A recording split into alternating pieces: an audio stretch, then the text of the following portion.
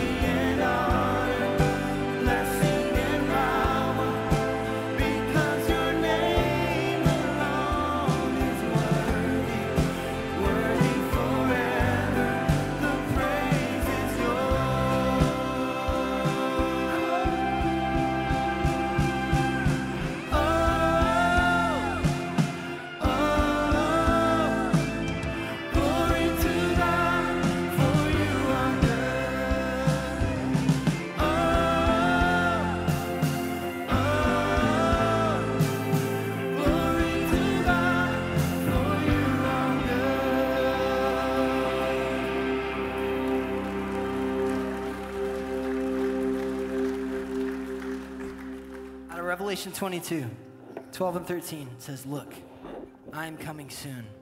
My reward is with me, and I will give to each person according to what they have done. I am the Alpha and the Omega. I am the beginning and the end. We serve a God that is worthy to be praised, and He's the only one worthy. So we sing this out. We sing His names back to Him. We sing Adonai and Elohim.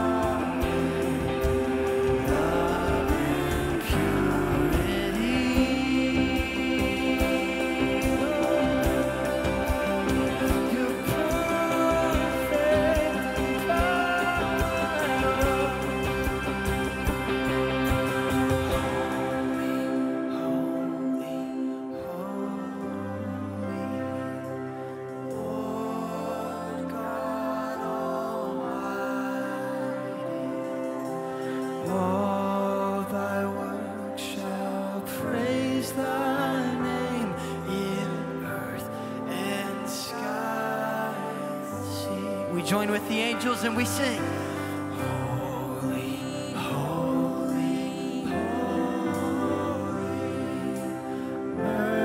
Merciful and mighty, God in three persons, blessed Trinity. Lord God, we praise your name today. The Alpha, the Omega. You are holy, holy, holy. So worthy, God. I pray that we'd realize that you are the only one worthy of praise. That we would follow you with all that we are. Because there's nothing else worth following.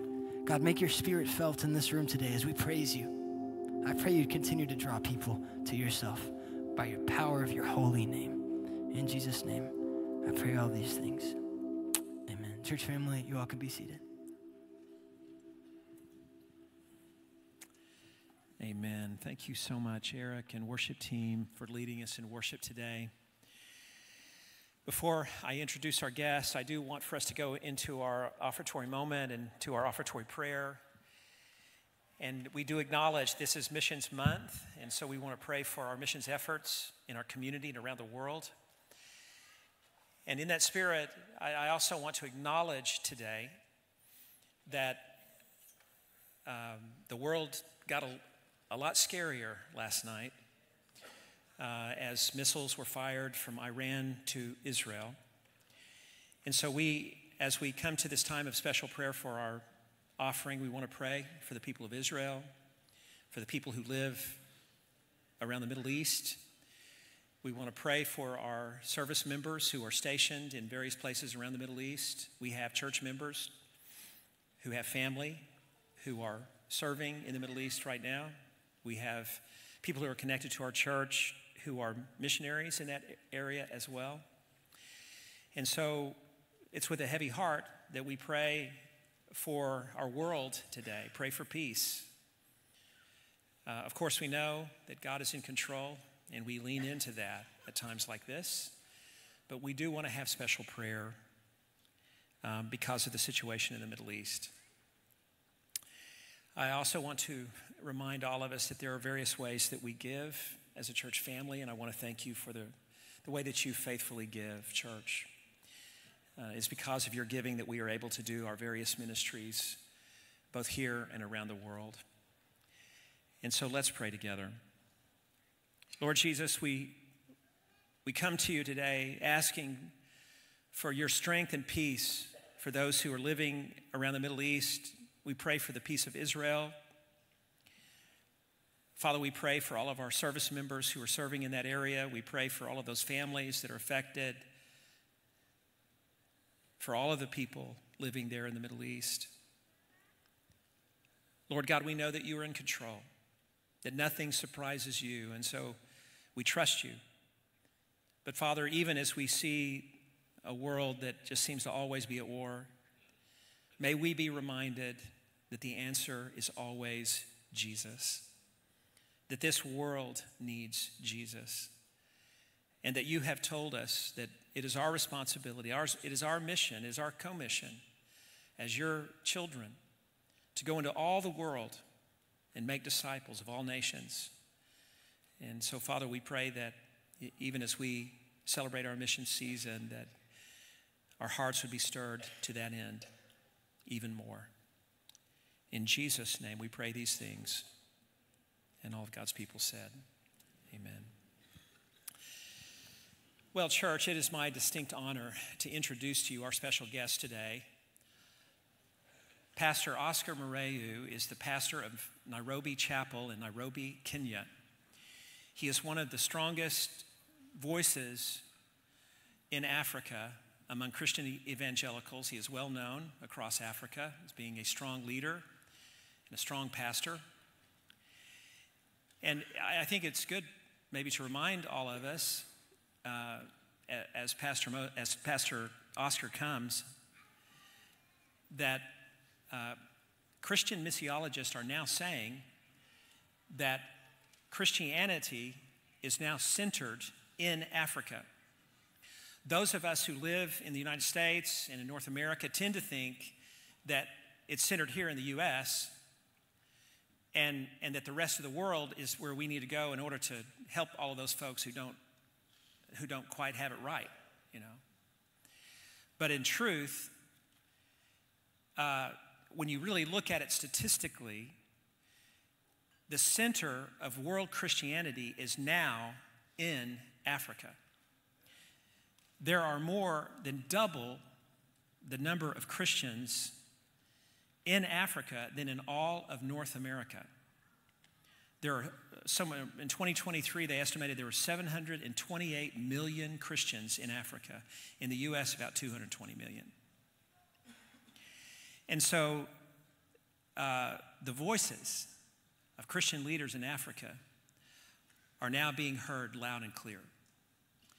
And you will hear that this morning with this message. Pastor Oscar's church, Nairobi Chapel, is a church that has planted over 300 churches around Africa and around the world. His own congregation has somewhere around 20,000 members. He is a featured speaker all around the world at various leadership conferences like Willow Creek's Leadership Conference, Saddleback Church in California. He is very well known, and we are delighted that Pastor Oscar has agreed to come and preach to our congregation. His wife, B, is here. B, would you stand and let our church family see you?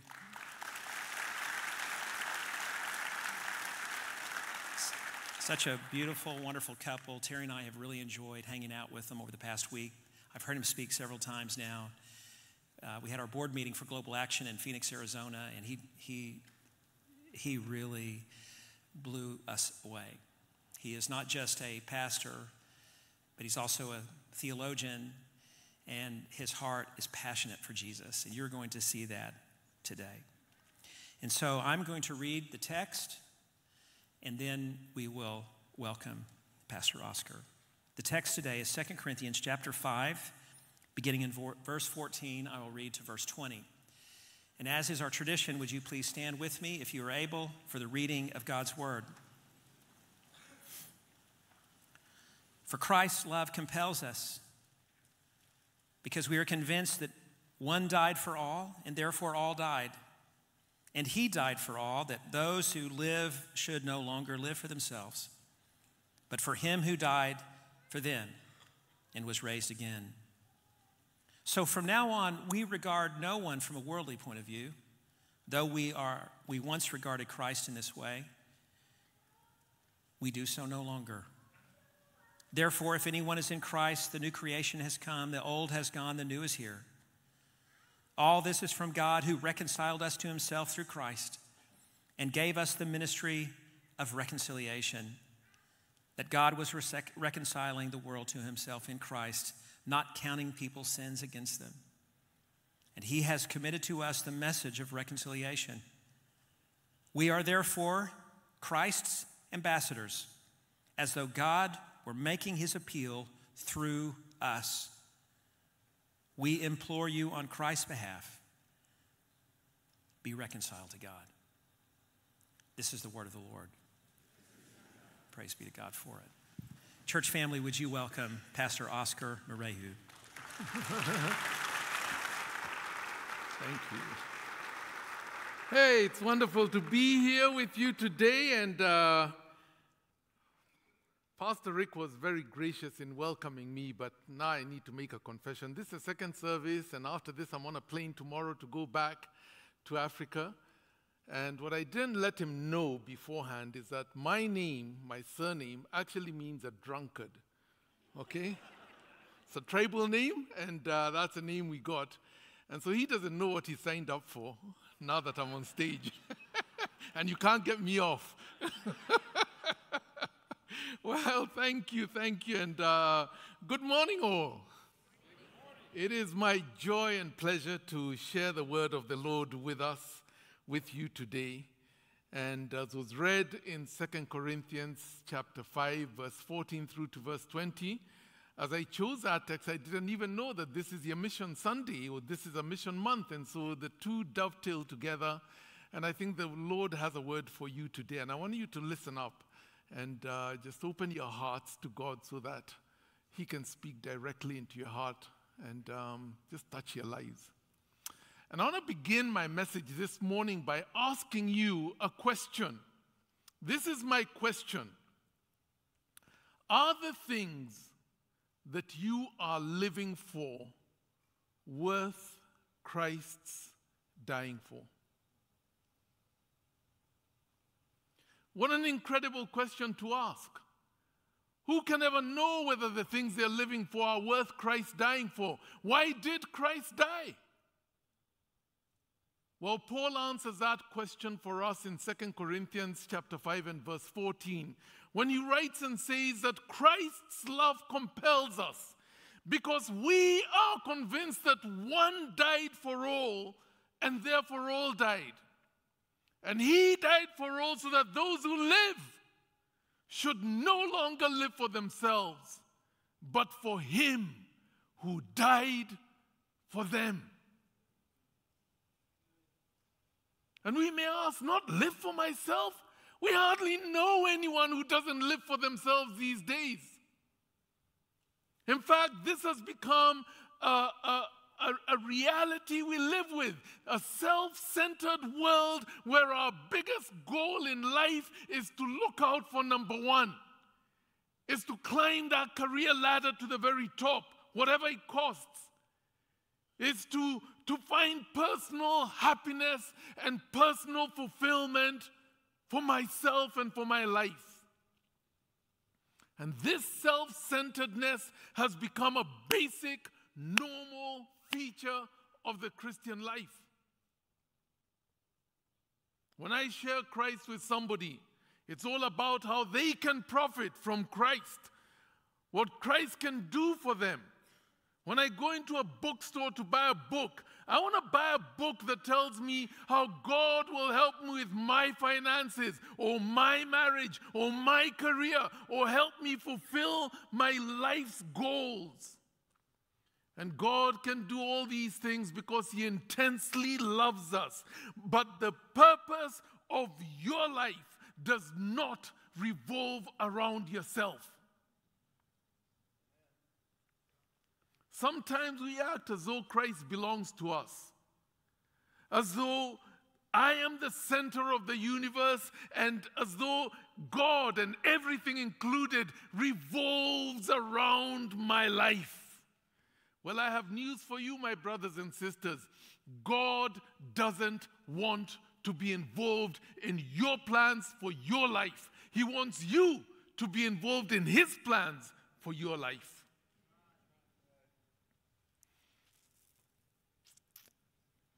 For your dreams and your personal happiness is not why Christ died.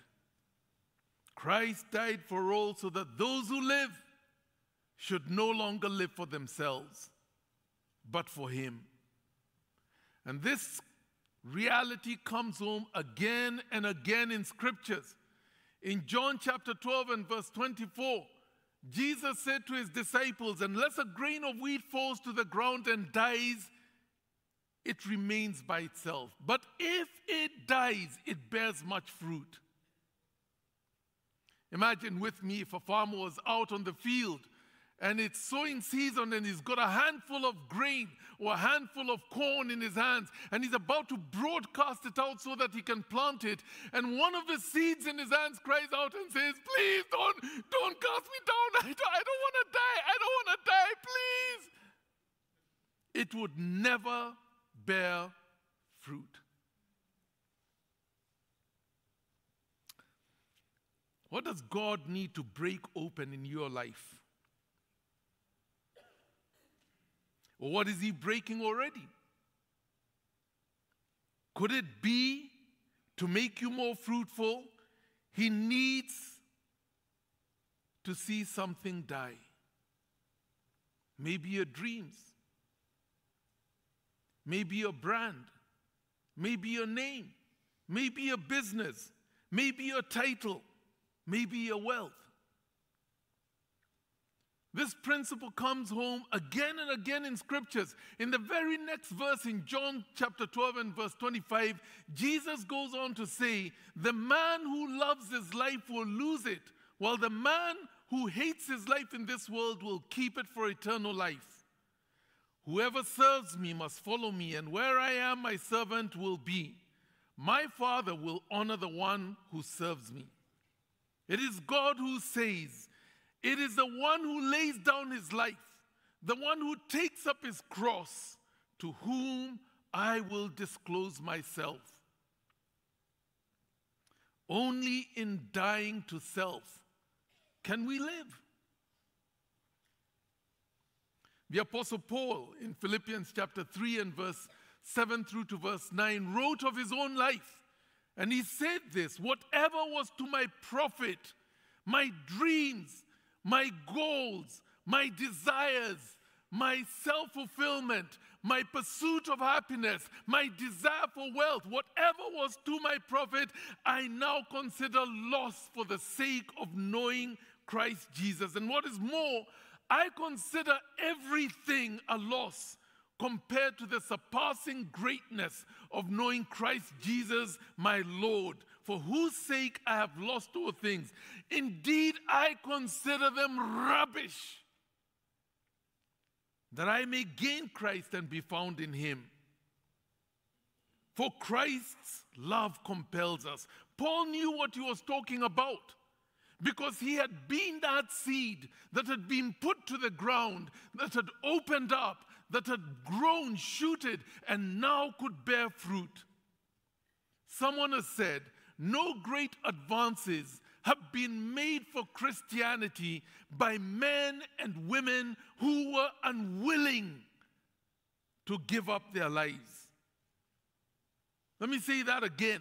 No great advances have been made for the cause of Christ, have been made for the kingdom of God, have been made for the advancement of the gospel by men and women who were unwilling to give up their lives. Give up my life. We can hardly give up a TV show that we know is not honoring to the Lord. Give up my life. Why is it this way? I believe it is because we have never come to the place where we settled in our hearts that I do not live for myself anymore. For Christ's love compels me that those who live should no longer live for their careers, that those who live should no longer live for their dreams, that those who live should no longer live for their comforts or their security or their retirement or their careers or their plans, but that they should live for Him alone. I think one of the reasons why we can't live for Him alone today is because we want to live the safe and comfortable life. But if your greatest desire in life is safety and comfort, then you will never risk your time for God. You will not risk your comforts. You will not risk your wealth. You will not risk your treasures for the things that move God's heart. And hence it's been said that it is possible to evade a multitude of sorrows by cultivating an insignificant life.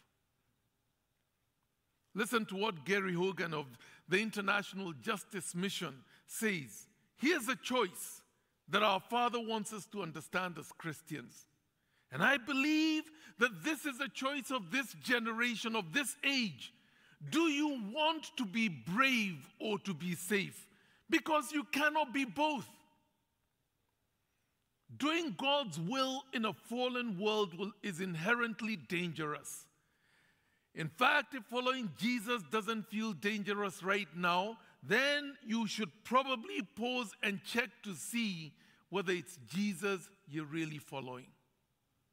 Let me put that in simple layman's language. If you haven't met the devil recently, you're probably walking in the same direction. Can you imagine if Jesus had said to God the Father in heaven before he came down to earth to die for man, gone up to the Father's throne and said, God, oh Father, I'm about to leave to go down to, to earth, but can I ask you one question before I leave? And, and God the Father says, Yes, of course, my son, you can ask me a question.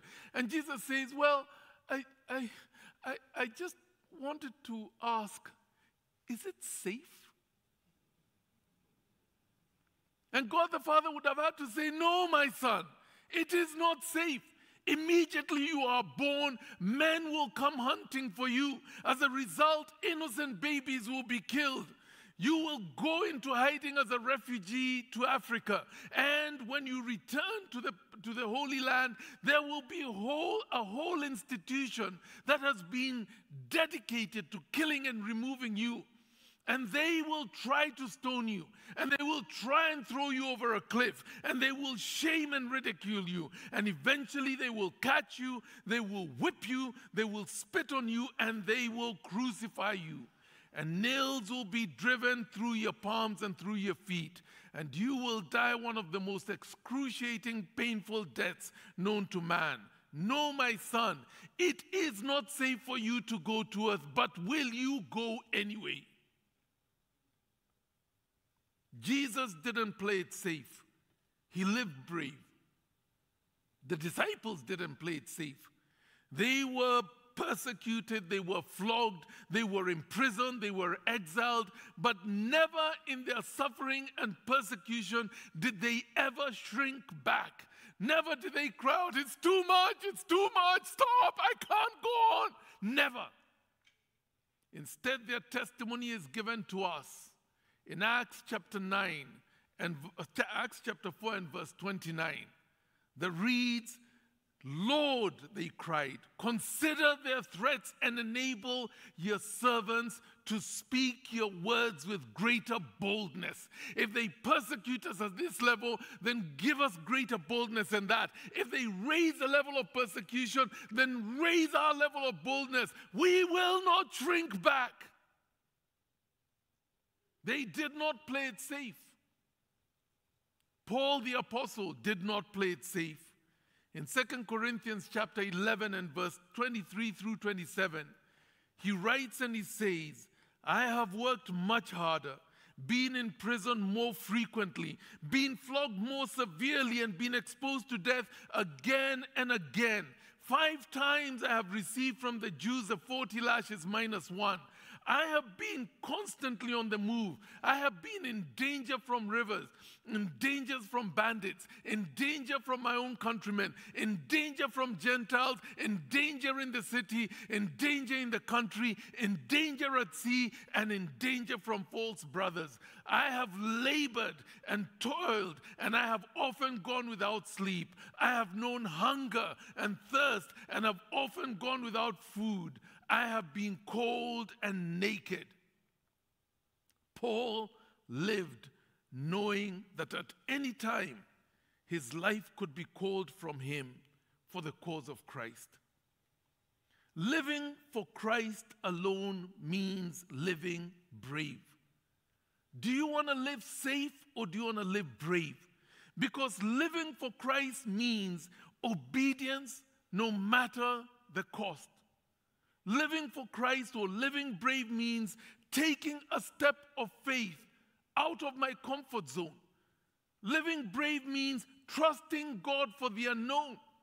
Living brave means recognizing that Christ's death on the cross proved God's love for me once and for all.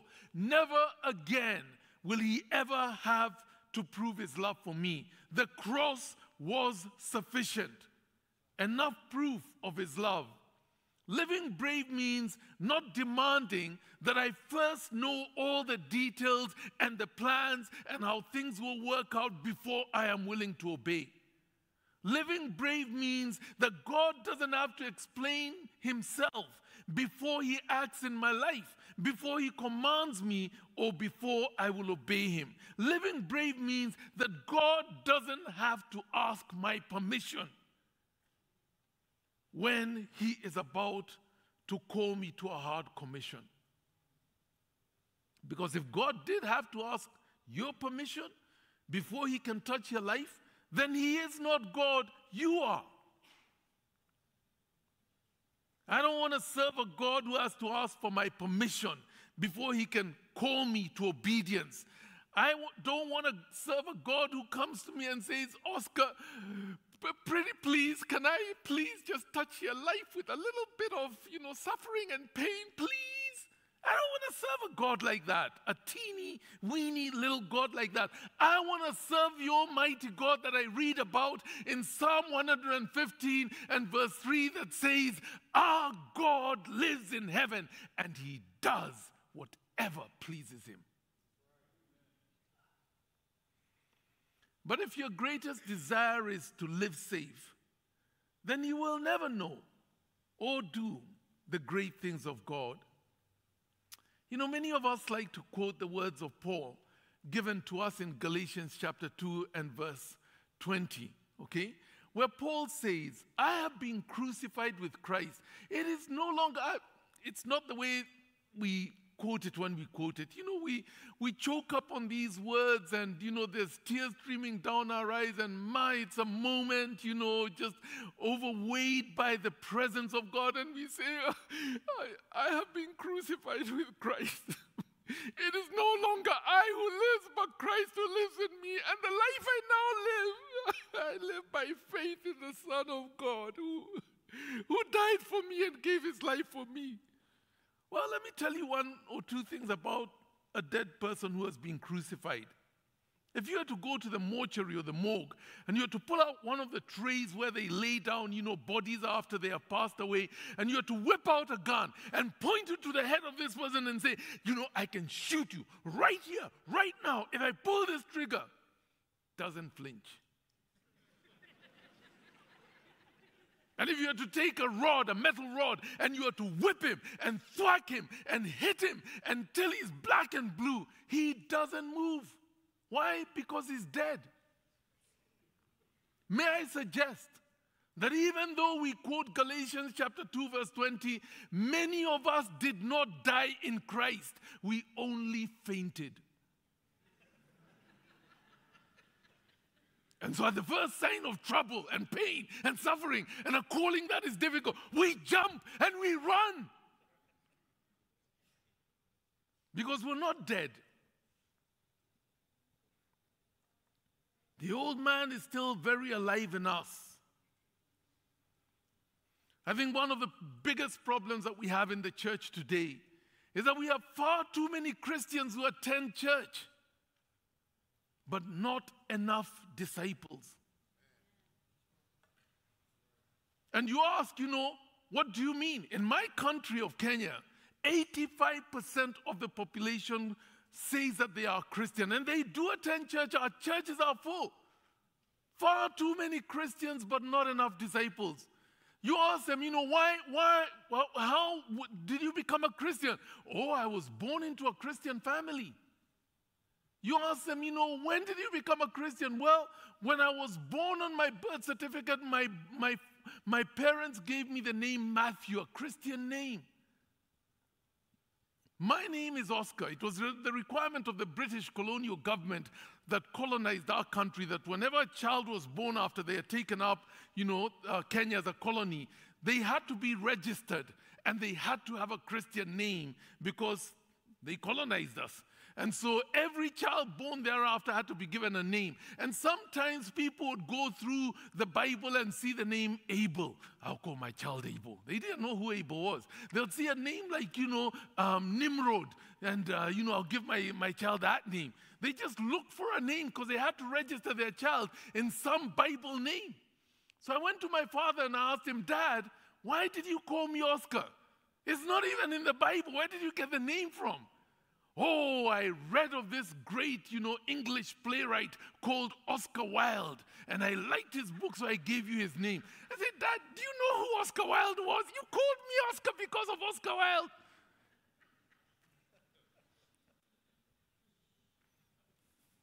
Too many Christians Not enough disciples. You ask people, why are you a Christian? Well, I'm hunting. What do you mean you're hunting? Well, you know, if you want the best girls to marry and you want the best guys to marry, you find them in the church. So I'm, I'm here, I'm a Christian, I'm hunting.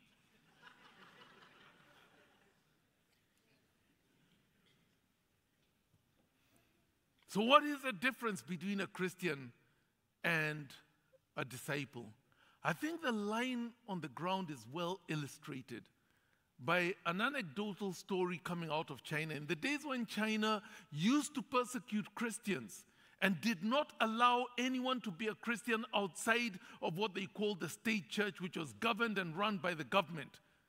But the Christians would gather together in what were called underground churches, home churches, little cells of Christians meeting in a living room and worshiping God and loving on God. But they were not registered with the government, and so if they were discovered, they would be persecuted. And the story goes that this one Sunday, the Christians were gathering, just a small gathering of about 20, maybe 25 people in one little room. But they couldn't just come, you know, at 10:30 like you did, and they all arrive about the same time. No, no, no. To disguise that they were actually gathered, they would have to come one at a time so that they would not be noticed to be gathering. And at 6 a.m. in the morning, one would stroll down the street and duck into the doorway and wait for the others. And the next person will come at 8.30 and the next person will come at 9.30 and by 12 when the service would begin they were all in the, in the place. Well lo and behold one sunday when they're meeting the doors burst open and there were four soldiers there and two of them stayed at the back and they, they shut the doors. And the other two came to the front, right up to where the front was, and they cocked their guns. And they said, Anyone who doesn't believe in this Christian stuff, get out of here now. They all knew what was going to happen. And so there was a mad scramble to get out of the building, get out of that room, as people literally clambered over one another. And when finally those who were leaving had left, only a small gathering of three or four were at the front. And fortunately, the pastor was there. And so the two men, the two soldiers at the back, barred the doors and they came right up to the front and stood with, their, with the other two soldiers here. And the lead of the soldiers turned to the pastor and he said, Pastor, now we can worship. You see, the Christians had left but the disciples had remained. And what makes the difference is a disciple is willing to lay down their life, their dreams, their goals, their desires for the sake of the one who died for them on the cross. And so let me begin to draw us to a conclusion here and ask you my question again. Are the things that you are living for worth Christ's dying for? That question came home to me as a young man of 22 years. I was in university. I had gone to a university in India, in Delhi, the capital city, and I was studying a, a Bachelor of Science in zoology because I had chosen my career, my future desired career, very carefully. I wanted to be wealthy. I wanted the good life. I wanted to live my dreams. And so I wanted to choose a discipline where I could make tons of money. The production of meat in the city of Nairobi, and Nairobi today is 5 million people. Great market. And so I chose my career. And when I went to university, I had been a drinking teenager before that, but I went to university and I said, All that is gone. Anything that will stand in the way between my dreams and I is gone. And I stopped drinking and I gave myself to very disciplined study so that I could perform well. But lo and behold, the Lord revealed himself to me, and I came to know Christ as my Lord and Savior in my final year of study. About six months before I was uh, expected to graduate out of the school. And I loved this Christian truth. And I didn't know what to do with myself because, you know, there weren't many people to disciple me. So I took a Bible and I began reading from Matthew chapter 1 and verse 1, trying to see what it is that I had come to believe and to know. And I'm reading through and I'm reading slowly. You know, I had enjoyed reading novels before that, make up stories, and, and I really enjoyed them. But I had come to see that when you read a novel once, it's never as good the second time round. So I figured, read the Bible slowly because the first time round, ah, brilliant. Second time round, you can already anticipate the tension and the suspense and such. So I was reading through the book of Matthew slowly. When, when about three months into my reading, I stumbled on Matthew chapter 9 and verse 37 where Jesus looked out on the crowds coming towards him and he said, The harvest is plentiful, but the laborers are few. Pray ye therefore that the Lord of the harvest would send out laborers into his harvest field. And I thought to myself, exactly. I mean, God, look at this. You, you reach me with your gospel at the age of 22 years. Why didn't you reach me at 16 years? You could have brought me to an, a, a saving knowledge of yourself so much earlier. Can you imagine what I would have done by now as a Christian? All those years, almost, you know, five years, six years, wasted because you took so long. You need to get your act together, God. You know, you can't be that slow. And I'm lecturing God on how to spread the gospel when God, you know, how He speaks to you with a, with a voice that, that isn't audible but that is very loud. He spoke to me and He said, Will you go? And I said, No, God, I can't go. I already have my plans in place. I know what I'm going to do with my life. I'm almost done with my studies. I'm going to go back home and begin a business. I'm going to become a rich man. I can't go, Lord. And he asked again, Will you go? And I said, No, God, I won't go. Find somebody who doesn't know what to do with their life. Find somebody who doesn't have a plan and a career. And you know, you send them. And God asked me again, can I send you? And I said, God, are you hard of hearing or what? Didn't I just tell you I'm not the right person to go? And God just kept asking me that question. When I would retire at the end of the day, will you go? When I wake up in the morning, will you go? Through the course of the day, will you go? And I finally decided about uh, after a week about of this, I said, that's it. I'm done reading the Bible. It's too convicting. I don't want to read the Bible anymore. And so I decided because it was summer, I'm going to take a holiday, run away from Delhi where I was, and go up into the mountains, which were cooler. It was the middle of summer. It be- becomes tremendously hot and steamy in, in, in India in summer. And so I, I took a bus, maybe about a 10 hour ride, up into the, into the hills, the Himalayas. And I went to a little colonial town called Shimla where the British settlers would go to rest in summer because it was cool up there while it was steaming hot down here in the plains. And so I went up there and they had this place, it was a courtyard, you know, big pavilion where they would gather together in the evenings and, you know, smoke together and have tea and maybe a band playing in a little pavilion in the corner there. And around the, the, the, the, the the place were little tea houses. And I went to one of these tea houses and I sat down and, uh, you know, ordered a cup of tea. It was morning time, ordered a cup of tea. And lo and behold, as I'm looking out on this square, I find there's a, an Indian man with saffron robes. You know, the, the orange, the bright orange robes they wear, the holy men wear, the Buddhists and the Hindus. There was one man on the square and he was walking up and down with his eyes fixed on the sun, straight into the sun. And you get to the end of the square, and then he would walk backwards in reverse, looking at the sun until he got to the other end of the square. And then he would walk up again, and he just kept doing this back and forth, back and forth. And I'm looking at this man and thinking, what is he doing? Doesn't he know that he can go blind looking into the sun like that?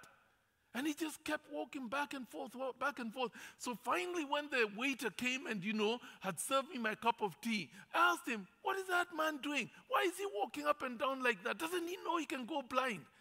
And, you know, nonchalantly, the, the waiter told me in a good, you know, Indian accent, Oh, he is a holy man.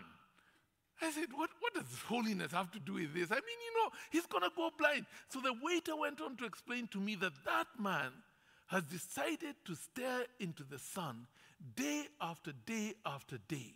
His eyes are tortured. They're bloody red because of the pain. And there's, you know, there's dry tears on his cheeks. But he has decided to look directly into the sun, even if he goes blind. until God reveals himself to him. And I thought to myself, I know God. I'm running away from God. And this man would be willing to give up his eyes and his sight to know the God that I'm running away from. And it was there at that tea house that I finally said to the Lord, Lord, I will go. And there were tears in my eyes because I realized there goes my dreams, my desire for wealth, my desire to become a successful businessman. There goes my dreams in terms of being able to go back and be, you know, dirty, stinking rich. By saying yes to God's call to be a pastor for the rest of my life. Now you're here today. And there are those of you here who are running away from God. You know that He has called you. And you have done everything you can to drown out His voice because you don't want to respond with a yes. And today He's found you out because He's here. And even as I have spoken, your heart has been strangely and deeply convicted. And the time has come for you to respond and say, Yes, Lord, here am I. There are those of you who have lived for yourselves and you've done well in life. And you have a nice, cushy life that you know you're just enjoying, maybe even in retirement. And you're doing all the cruises you can and playing golf every other day. I don't know why you bother playing golf. There's going to be golf in heaven. And in heaven, you get a hole in one every time you hit that ball. So don't perfect your swing here. It's coming and it's going to be a freebie. But you're doing all the cruises and you're living the life. But you're living for yourself and not for Christ who died for you. Maybe you're in a successful career and God is saying, I want to use your career, but you're going to have to leave what you have. And I will send you to places where people can never afford the learning you have, who need your help. And I want you to be my servant there. And your dreams and your desire for wealth, these things will be put down. Maybe within your career itself, God is saying, I want you to be different and to serve with my heart and not your heart. I don't know what God is saying to you. I don't need to know. But I plead with you. Remember that one died for all so that all died. And he died for all so that those who live should no longer live for themselves, but for him who died for them. So I want to call you to commitment here today. Your heart is convicted, something needs to change. And this is a moment. And so I'm going to ask you to respond to what God is saying to you. And I don't know what it is, but you do. And I'm going to ask you to rise to your feet. Not yet. I'm going to ask you to rise to your feet. And I don't expect that everybody is going to do that. There are those of you here who are already living centered on Christ, and it's a beautiful thing. But there are those who may never have actually said, Lord, I want to live for you and not for myself. And today I'm convicted. And you want to respond. Only those can I ask you to stand to your feet where you are. Thank you, Clint, for coming forward because I'm going to invite some of you to come right here to the front. But if you're here and today you just sense, this word is for me, and God, you're calling me to change the way I'm living, and I want to respond yes, could I ask you to stand to your feet? Thank you, sir. Anyone else? Thank you. Thank you. Thank you. Anyone else? Give you an opportunity. And then there are those of you here who just know that God, in this mission month, is calling you to an alternative life of missions. Maybe locally here in Oklahoma, maybe in the US, the greater US, maybe in this continent and in Latin America or in Africa or Asia, God is calling you to leave behind your peoples and to go as a missionary where He sends you, and you're here today, and you know that He's calling you. If that's you, could I ask you to come to the front? I'll ask Clint and maybe one or two of the prayer warriors here to just come to the front to receive you. Just come up to the front. Don't be afraid. This is between you and God. This is about your moment. This isn't about everyone who's sitting around you. Just come to the front if you know that God is calling you to a life of missions. Just come up to the front. It's a holy moment because you're giving it all away. And I hope my words have been clear and you know the price that you will pray. Anyone else? Give you a moment. Clint, would you come up to this side and just pray with these good folk here? And I'm going to ask um, Pastor Rick if you could come and just pray for these who are standing in our midst here and just commit them to the Lord as they say yes. Amen. Lord God, we want to pray for these who are standing. We pray that, that you would finish in their hearts what you have started today. And Lord, it is all of our prayer that, that we be disciples, not just Christians in name only. Father, we thank you for how you've spoken to our hearts. I pray for these who are standing that you would give them direction, that you would give them strength, that you would give them courage, that, that you would show them the way.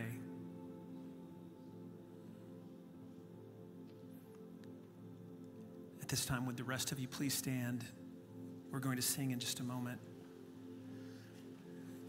Maybe you would like to come and have prayer here at the front. Maybe you'd like to light a candle indicating that prayer. We invite you to do that. This is a time of worship, it's a time of prayer, it's a time for us to pray for one another.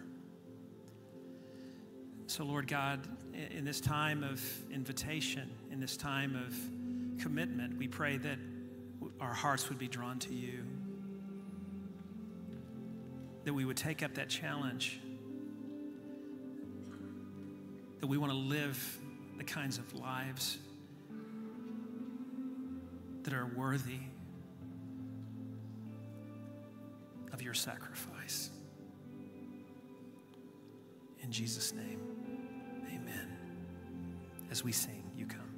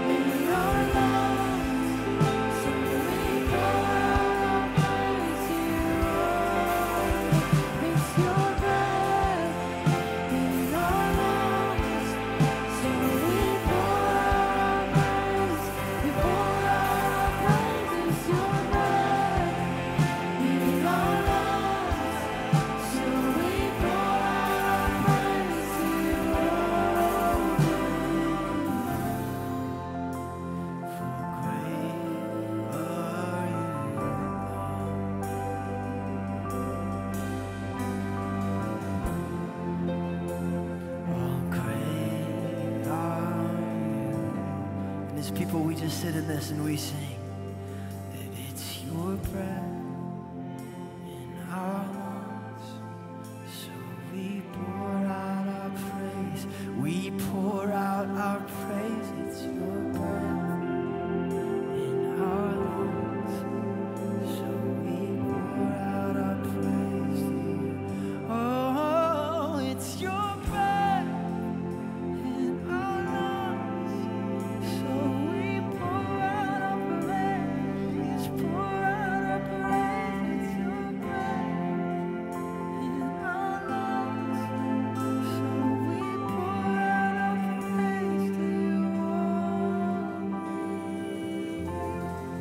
God, we praise you because you are so great. God, may we honor you with every breath that you give us, with every moment that you give us, and recognize that it's from you. God, this life that you've given us, it's from you. So, God, may we honor you with it. We pray in Jesus' name. Amen. Amen. Amen. Thank you, Pastor Oscar, for that today. You blessed us. It's powerful. So, church, before we uh, sing our doxology, uh, I want to remind all of our men that we have men's worship this coming Saturday night in the chapel, 7 o'clock p.m. We'd love to see you there for that. So, let's all sing together.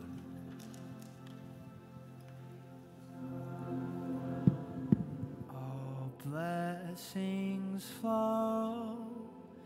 Praise him, all creatures here below. Praise him above, ye heavenly hosts.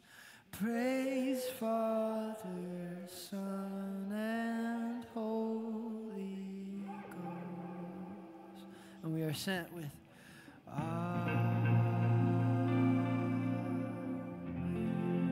Church, go and be the light of Jesus this week.